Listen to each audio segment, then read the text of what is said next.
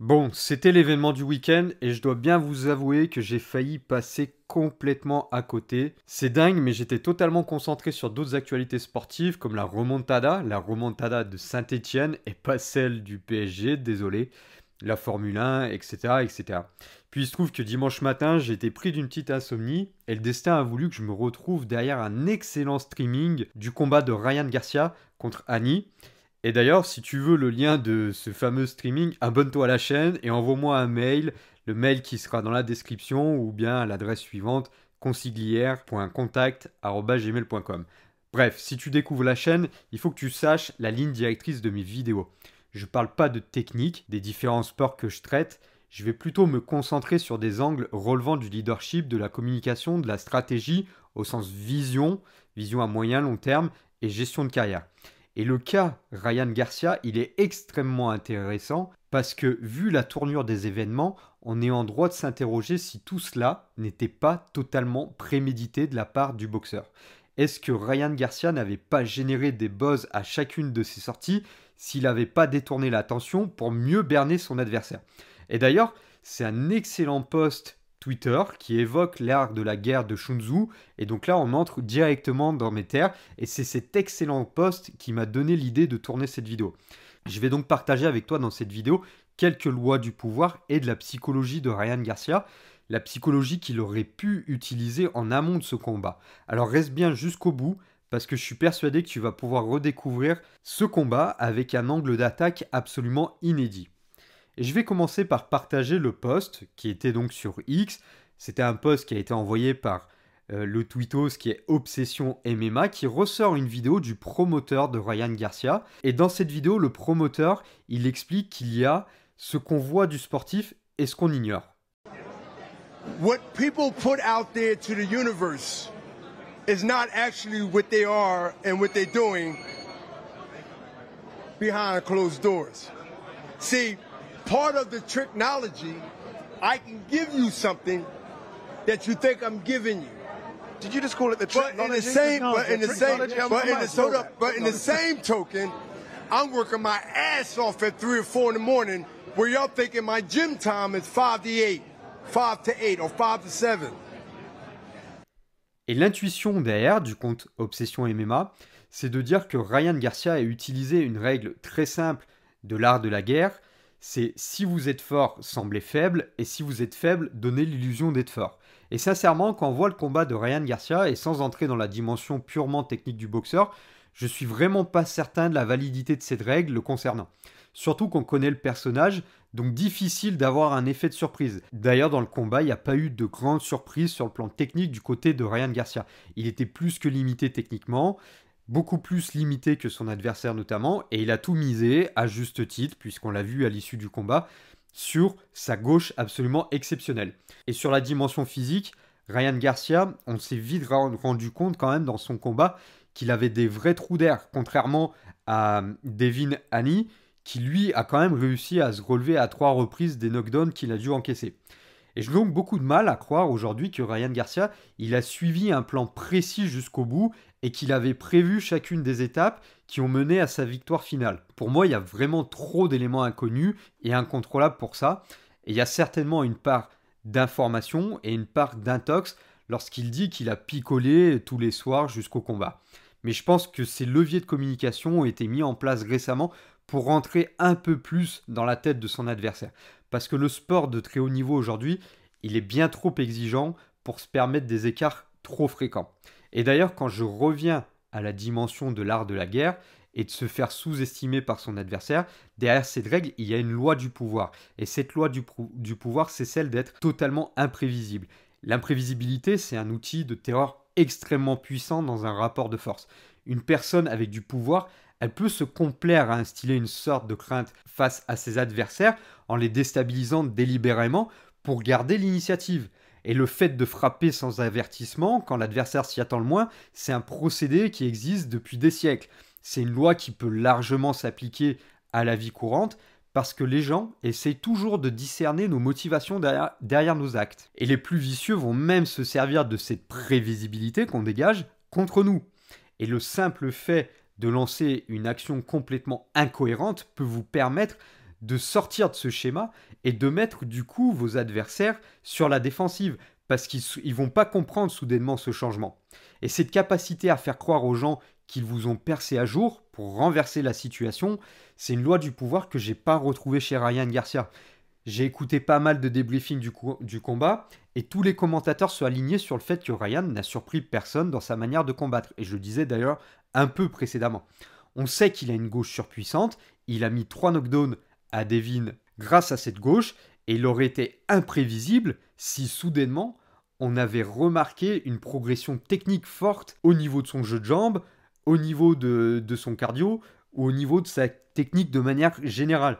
Et c'est absolument pas le cas sur ce combat.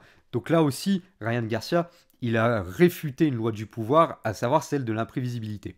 Alors maintenant, je vais partager avec vous quelques lois que je retrouve chez Ryan Garcia et qu'il a pu mettre en exercice dans ce combat. La première loi, c'est sa faculté à changer de peau, à s'éloigner des clichés que la société peut imposer. Et c'était un peu l'image que j'avais de ce mec qu'on pouvait décrire à une certaine époque comme étant le gendre idéal. Ce qui est d'ailleurs forcément une bonne idée parce que paraître sans, sans défaut et sans faiblesse, c'est quelque chose d'assez terrible qui va susciter de la jalousie et donc qui va vous générer encore plus d'ennemis autour de vous. Et le truc avec Ryan Garcia sur son imperfection et du coup sur son changement de peau, c'est qu'il y est probablement allé un peu trop fort. Il a basculé notamment sur de la dépression nerveuse, il a une consommation d'alcool qui est certainement excessive, ou même sur des messages politiques qui vont en totale opposition avec la ligne de pensée actuelle. Alors je ne suis pas là pour dire ce que je pense de tout ça, mais en tous les cas, Ryan Garcia, c'est clairement un mec capable d'être publiquement spectaculaire dans sa communication, voire même dans sa boxe. Il maîtrise bien son image, et même si il donne pas un côté forcément très flatteur de lui-même, ça va lui permettre de donner de l'ampleur à sa personnalité, de lui faire prendre encore plus de stature. Et dans le monde actuel, dans le monde du sport et encore plus dans le monde du sport de combat, c'est un élément vraiment essentiel pour percer et avoir des opportunités qui se présentent et qui se répètent. Et j'ai même envie de dire que Ryan Garcia, c'est vraiment l'antithèse de Devin Haney. Devin, il a une boxe ennuyeuse à mourir. Son parcours, il est parfait, beaucoup trop parfait. Et du coup, derrière, le storytelling, il n'est pas vraiment évident. C'est un excellent sportif, mais à l'époque actuelle, ça suffit plus. Il y a vraiment une dimension supplémentaire à ajouter, un supplément d'âme qu'on retrouve pas forcément chez ce mec. Et pour illustrer mon propos, il suffit de comparer le niveau d'influence de chacun. Devin Haney, c'est 2,8 millions d'abonnés sur Instagram, pendant que Ryan Garcia sont quand même 11,3 millions.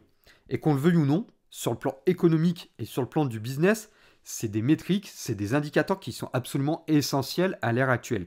Et ça montre bien que Ryan a un petit quelque chose de plus dans sa personnalité qui fait qu'il embarque beaucoup plus de gens autour de lui. Et la pesée d'avant-combat, c'est une dernière illustration de tout ce que je suis en train d'expliquer.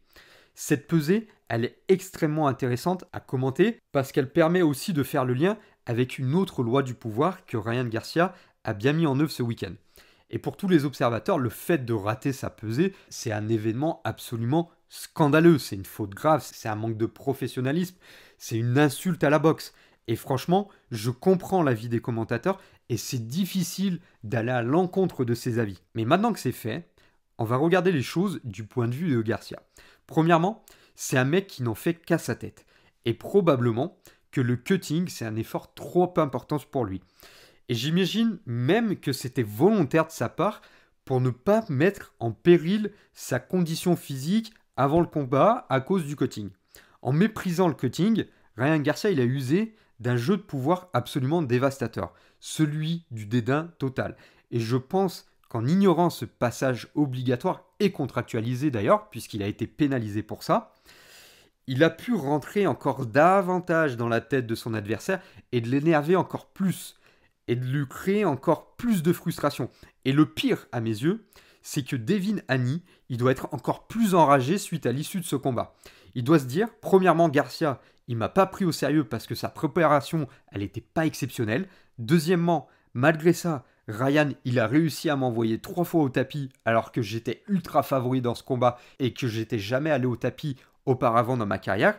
Et puis troisièmement, tout simplement parce que c'est un très mauvais message pour la boxe. Et c'est justement la dernière partie de cette vidéo, et j'évoquerai une dernière loi du pouvoir, Et cette nouvelle loi, je trouve que Ryan, il est très très loin de la respecter, malgré les apparences qu'il se donne, puisqu'il se définit comme étant le king, avec sa couronne et son short. Le problème, c'est que rien dans son attitude ne renvoie à une image royale. Comme je disais tout à l'heure, il a su changer de peau, il a su montrer un certain niveau d'imperfection, et en faisant ça, il a respecté certaines lois du pouvoir.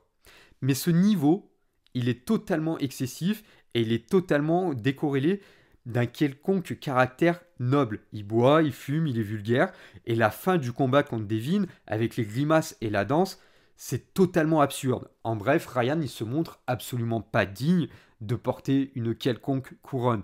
Et je trouve qu'il a vraiment dégradé l'image de la boxe. Et plus généralement du sport de très haut niveau, avec son attitude que je qualifierais même d'anti-sportive. Alors non, on ne devient pas un sportif de très très haut niveau en buvant comme un trou, surtout avec les carences techniques qu'il a démontrées. Et non, on ne devient pas le roi de sa catégorie en méprisant les règles. Et là, je pense notamment au cutting. Je trouve vraiment qu'en ayant eu cette attitude, surtout sur le plan sportif, je ne parle pas des polémiques, il manque vraiment de respect à son sport. Et en plus de ça, lors d'une récente interview, Ryan Garcia s'était attaqué à Jack Paul en déclarant que ce dernier manquait de respect à la boxe. Et aujourd'hui, je pense qu'on peut légitimement se poser la même question le concernant. Bon, je pense qu'on pourrait encore trouver une quantité d'exemples et de situations pour reprendre ces fameuses lots du pouvoir. Je vais en rester là pour cette vidéo et j'espère vraiment que le contenu t'a plu. Alors n'hésite pas à venir débattre en commentaire. Et puis surtout, si ce genre de contenu te plaît, alors abonne-toi bien à cette chaîne, partage la vidéo. La chaîne progresse de jour en jour et ça c'est vraiment top, ça me donne vraiment beaucoup de force. Donc merci à toi si tu as écouté la vidéo jusqu'au bout et je te souhaite une très très belle fin de journée.